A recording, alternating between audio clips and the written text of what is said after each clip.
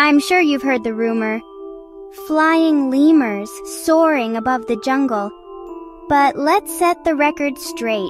These quirky creatures are called colugos, and they're in a league of their own. Colugos are the ultimate gliding masters of Southeast Asia's treetops. Their secret? A massive fur-covered skin membrane called a patagium, stretching from neck to tail, even webbing their fingers and toes. With this giant wingsuit, they can silently glide over 100 meters between trees, steering with surprising skill. About the size of a cat, colugos sport big eyes for night vision, soft camouflaged fur, and unique comb-like teeth for munching leaves. Don't be fooled by the nickname.